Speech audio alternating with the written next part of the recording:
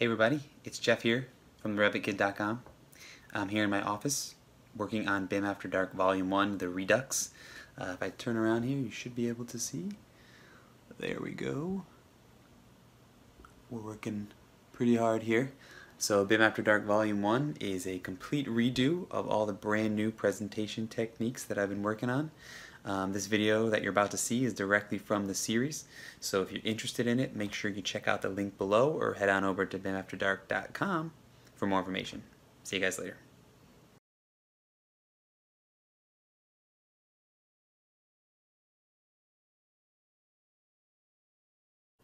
In this chapter, we're going to talk about how you can quickly add depth to your elevations using a couple different techniques, including the depth cueing tool.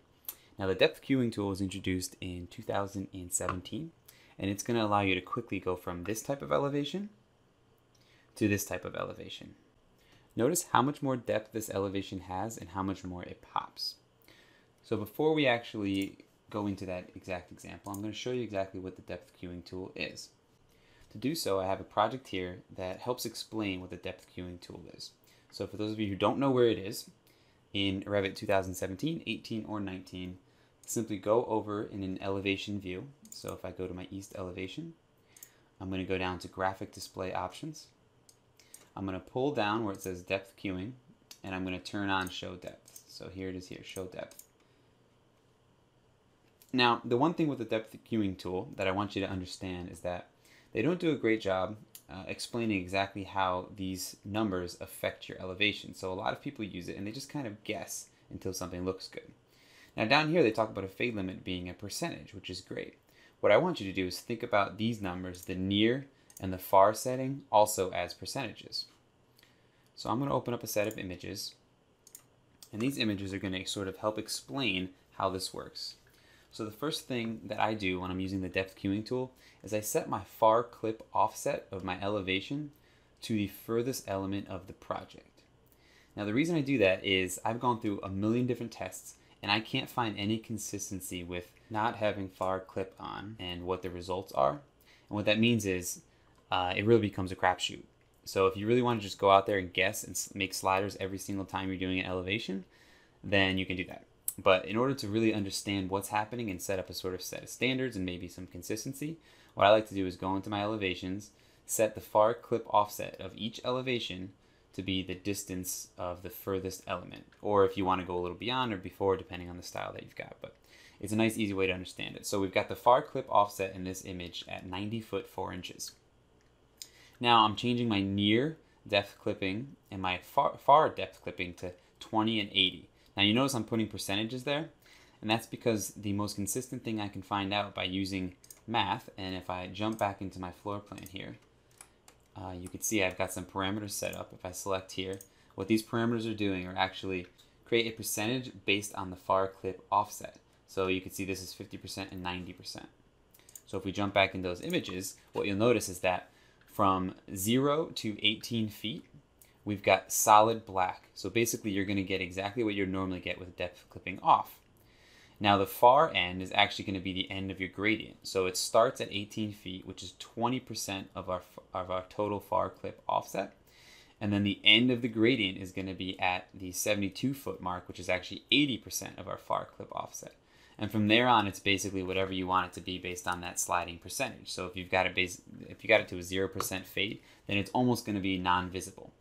And if I slide through these, you'll see here I have 20% in the near and the 100% far. So that means that the end of my gradient is actually going to be at the end of my building. So that's a nice easy way to control how you want that to be.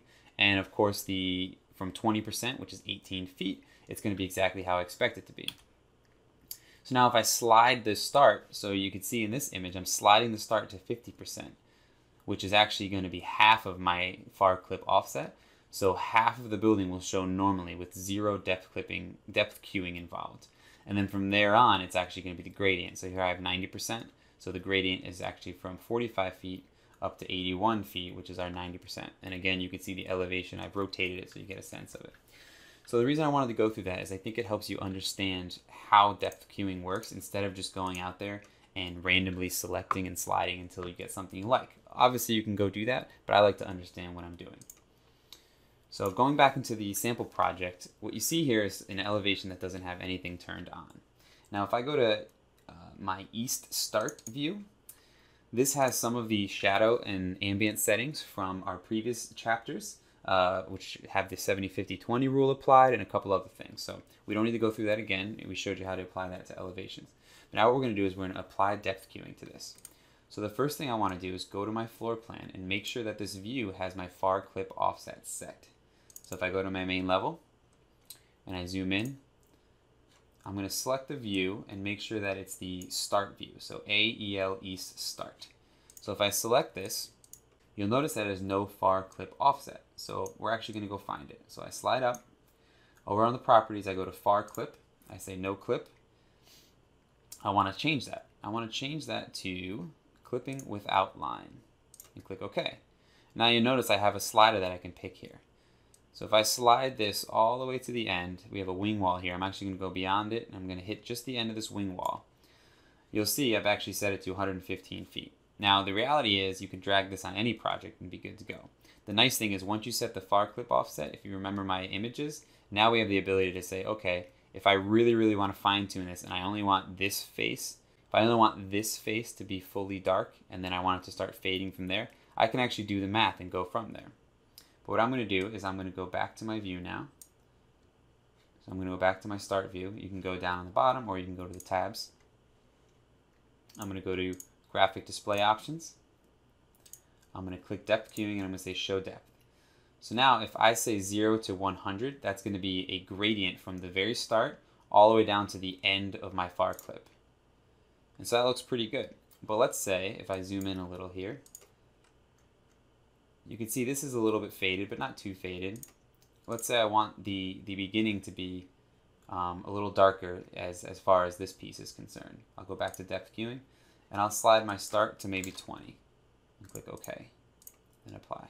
And you'll notice that this came back into, into picture a little bit. But meanwhile, the background is actually nice and faded away. So that's a really, really quick way to add some depth. If you want to get really, really intense with it, obviously what we can do is we can find the start of this of this um, clip plane and we can measure from it. So what I like to do is simply just draw a reference plane somewhere near it. If you wanted, we can actually do it, you know, super, super in depth, but for the most part, you can see here, it's pretty much dead on, close enough for what we're doing. And we know that this guy is at 115 feet. So if we do some quick math and we say 115 feet, I'm actually gonna just type MV on my keyboard for move. I'm gonna start moving and here's a little tip here. If you type equals 115 feet times 0.2, we've actually moved it 20 feet, just like that. And so now we could see, or 20, sorry, 20% uh, of 115. Now you can see where 20% exists. So that's not too bad, but maybe we wanted this to fade out and we just wanted the beginning, we could we could have changed that. But now we know exactly where our gradient is starting. So I'm going to jump back into my east elevation and you can see we've got a nice little nice little elevation here. Now just like the previous tutorial, if I want to add a little bit more pop to this, you know these these line weights are pretty good, um, but they're not perfect. Maybe we want to add a little punchiness to this front. So I'm going to type LW on my keyboard, and I'm going to change from medium lines to actually heavy lines, just for the sake of, or wide lines, just for the sake of, of you being able to see it better. Maybe it's going to be too wide, but let's see how it looks. So now I'm just selecting edges, and I'm being very careful as to what edges I'm going to select. And the reason I'm doing this instead of just drafting is that now when we move these elements, if for some reason they move, because let's be honest, they always move, um, these actually lines are going to stay with it. So your thicknesses are going to stay. So now if you notice I'm highlighting around, I want to get this bottom piece of the beam. And what's cool about line work, which is the LW tool, is I can actually drag. So I'm just going over to the right hand side. I'm dragging these blue dots so that they're just making the outline. So I'm going to do the same here. I'm going to click this whole piece. I'm going to zoom out. I'm going to look over to the right, and I'm going to drag this back. So you notice I'm doing is I'm actually creating an outline by selecting the edges of objects. And again, the great part about this is once I'm done doing this, if we move these roofs or, or these beams or any piece of this, it's all going to move with it, including the thick lines. So now I'm going to select here, and here's another example of how we want to drag. So we select a line, we drag the blue dot back, if we click down here, we select this line, drag the blue dot back. We can do the same on the end here. We click the end. We have to go back to this side and drag the blue dot back. It seems like a little bit of a pain in the butt in the beginning, but you remember that once you do it this way, if these elements rotate, guess what? Or move, guess what? They're going to move with it. So I'm just going to finish cleaning up this little outline here. We've got a big, big line back here. It's going to come in. And click this final line here, pull it down. Now there we go.